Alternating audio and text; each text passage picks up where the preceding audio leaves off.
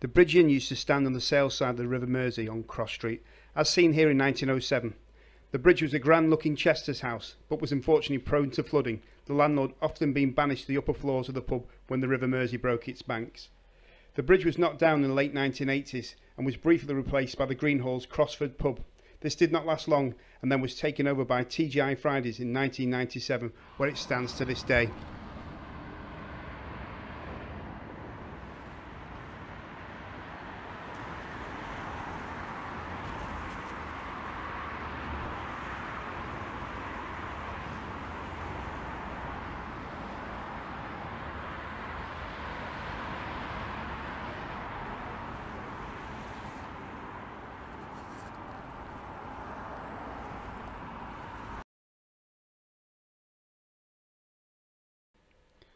The Vine, a 19th century pub, altered in the early 20th century and again in the 1990s. It's located on Washway Road, which is the A56 between Sale Centre and Marsland Road. Although at the time of recording its future is unclear, but I hope it remains part of Sale's history.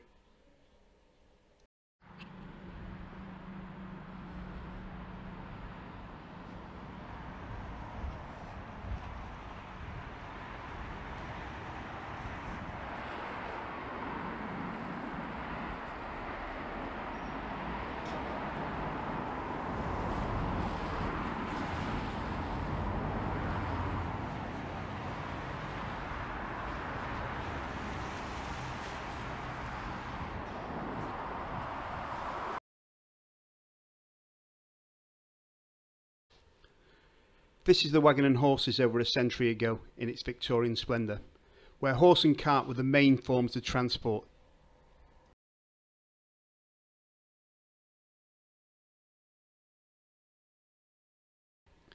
The Wagon and Horses was situated on Cross Street in Sale.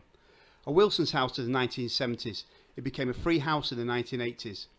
The pub was closed in early 2003 and quickly fell into disrepair. This is one of my favourite pubs in Sale and I bought my first pint here and enjoyed the disco nights.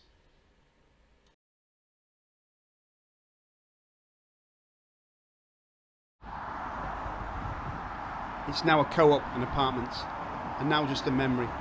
The bus stop reminds me of where the front entrance of the pub used to be,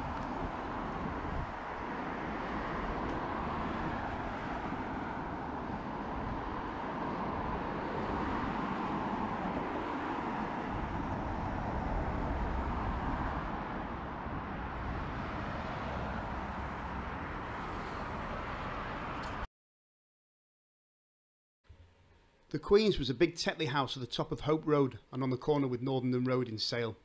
It was right next to Sale railway station. It was later rebranded into the Met Bar until its demise in 2007 after falling into disrepair.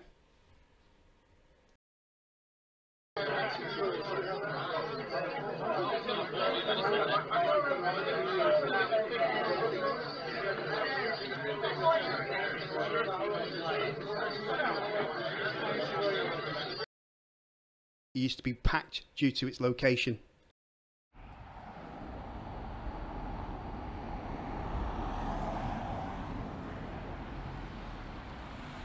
As we look down Northenden Road, panning right down Hope Road, you can see the building in front of us now, which is apartments, and this is where the Met Bar and the Queen's once stood.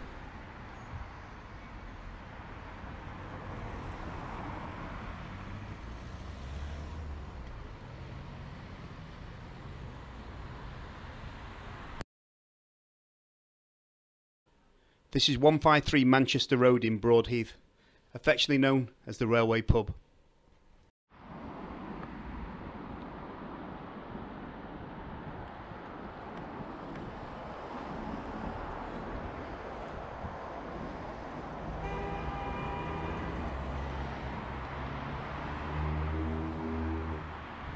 This Grade 2 listed Victorian pub, once in a row of cottages along the main road from Manchester to Altrincham, the cottages have long been demolished to make way for Atlantic Road Retail Park, but the pub's listed status prevents its demolition and leaves it standing on its own at the edge of the retail complex car park.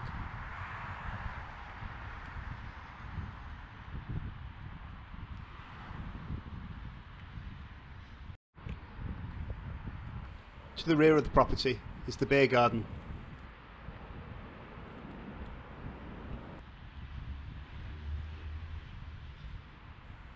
The elevations are of brick construction set beneath a pitch slate covered roof.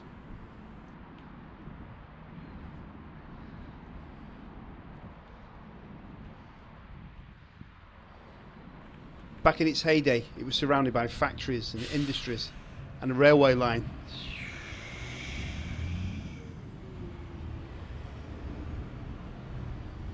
Looking along Gordon's Richards Way, you can see the sprawling retail park on both sides of the road.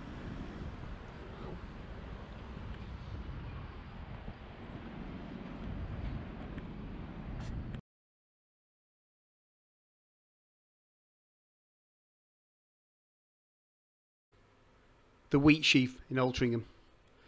This is a distinctive black and white timber building on the main Manchester Road heading into Altrincham. This has been vacant for a good number of years now.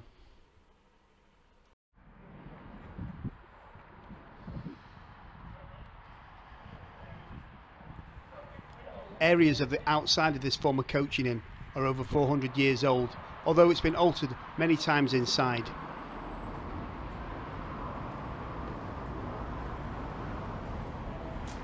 The current owner was on site and allowed me brief access to film around the building. Under new management, as of late 2013, both downstairs and the upstairs function rooms were fully redecorated to give the building a more contemporary and welcoming feel, but unfortunately has fallen into disrepair and is now due for alteration.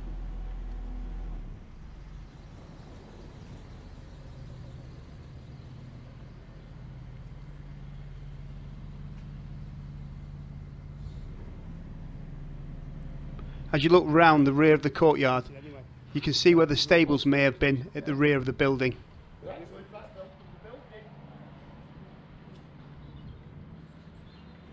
The building, which is considered a heritage asset, will not be completely demolished as part of the new proposal plans, but I hope they keep its main characteristics.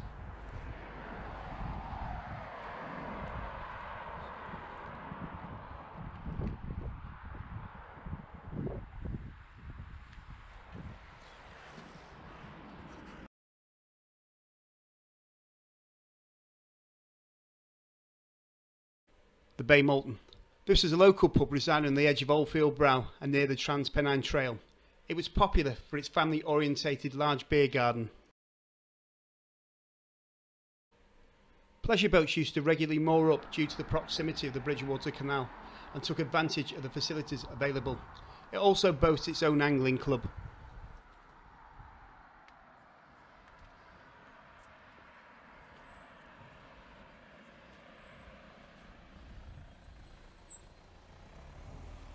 An extract taken from the Messenger newspaper. 16 people have written to Trafford Council and objected to the redevelopment of the Bay Malton in Seamons Road.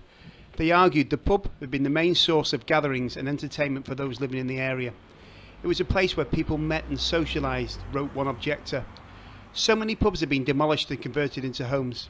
However, the authority received seven letters from residents backing the scheme. The building has not been used for a pub for a number of years and despite permission being granted for its renovation, it sadly doesn't seem to ever to be returned to a pub. The proposal is to transform the former pub into a substantial family home.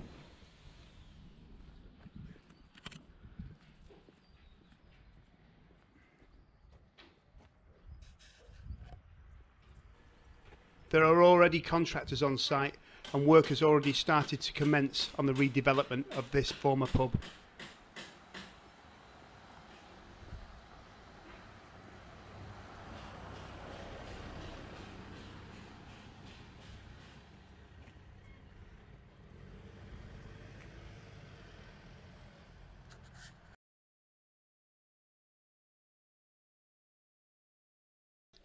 And finally, the Pelican Pub Hotel and former Altrincham Lodge Hotel, 350 Manchester Road, West Timperley.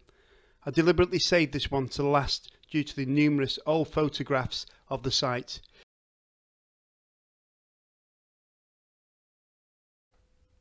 Looking at Manchester Road in this photograph, you can see how quiet it is, poignant to see what it looks like today.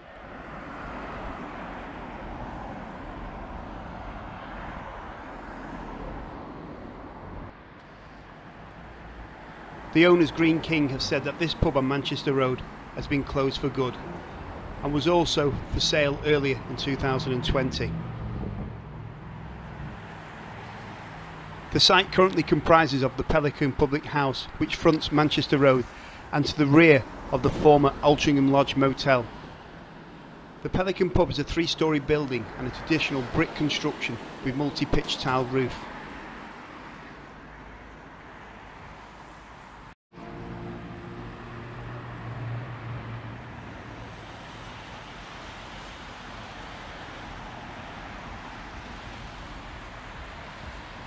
The motel comprises of a two-storey detached building built in a U-shape of brick and timber construction with flat metal clad roof. It's been designed offering 48 ensuite rooms with reception area and manager's office. The site currently boasts two magnificent sized car parks adjoining the north side elevation of the pub and the other to the rear surrounding the motel.